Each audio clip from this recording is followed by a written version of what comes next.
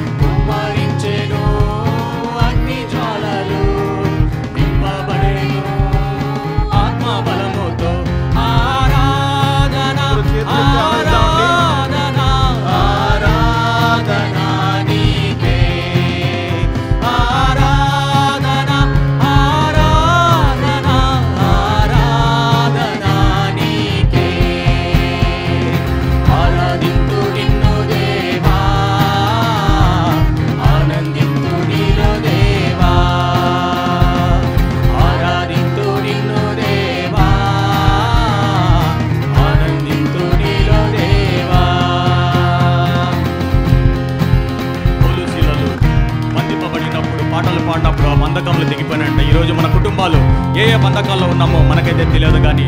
దేవుని ప్రార్థించిన వెంటనే మన బంధకాలన్నీ ఆయన కృపలో దిగిపోవును గాక ఆమెన్